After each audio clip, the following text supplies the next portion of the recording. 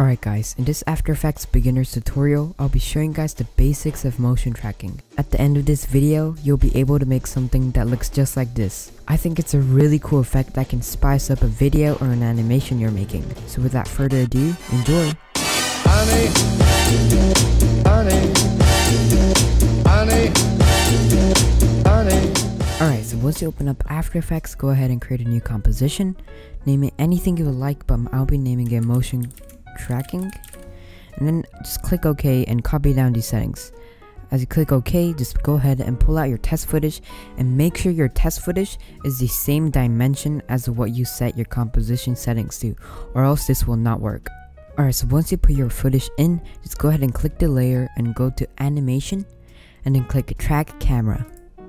After you've done that, it will start to load, so I'll be back when the loading is done. After you've done that, a 3D camera tracker will be applied to your test footage. If you don't have this tab open, just go ahead and click window and then click effects and controls on the right here. So all you want to do after you select the 3D camera tracker is you'll see a bunch of little colorful points everywhere.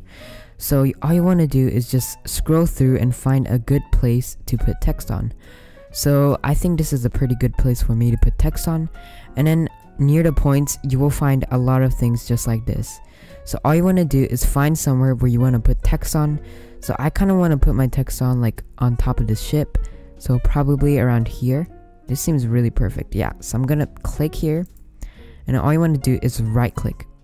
And if you want to put a text, just go ahead and create text in camera. So yeah, I'll just be clicking that and then it will create a new text.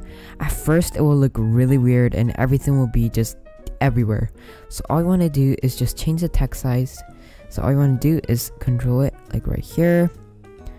And then you can also change the like positions and orientations by just clicking this gear icon right here and clicking transform. And you will see all the uh, options right here and you can play around with it to see where you want to put your text on. So I'll be back when my text is done. Alright, so I think my text is in a pretty good position. So right now, we're going to go ahead and preview what we have right now. Alright, so as you can see, the text is actually following the ship and I think it, it looks insanely cool. Although it looks really cool, I think there's one thing missing, and that's shadows. All you want to do is select the text layer, just go ahead and hit Ctrl D on your keyboard to duplicate the text, and then put text 2 under text. Now all you want to do after that is again, open up the gear icon and open up transform.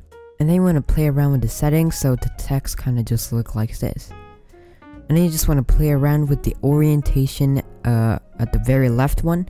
And you just want to play around with it and it will start looking like this. And then after that, just go ahead and pick really darker colors. So I'll be picking like around gray, a very dark gray, and then click OK. And then after that, just go ahead and hit T on the keyboard while pressing the layer text 2. And then it will show up a opacity tab. After that, just go ahead and decrease the opacity like that. And it should be looking pretty good.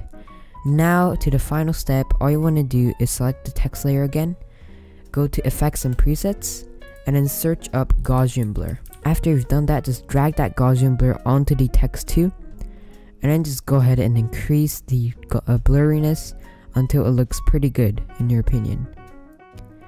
Alright, so now that we've got that, I think we have a pretty good looking shadow now, and we can go ahead and preview what we have. Alright, so I think we've got a pretty nice text motion tracking, and I think it looks really, really nice in my opinion.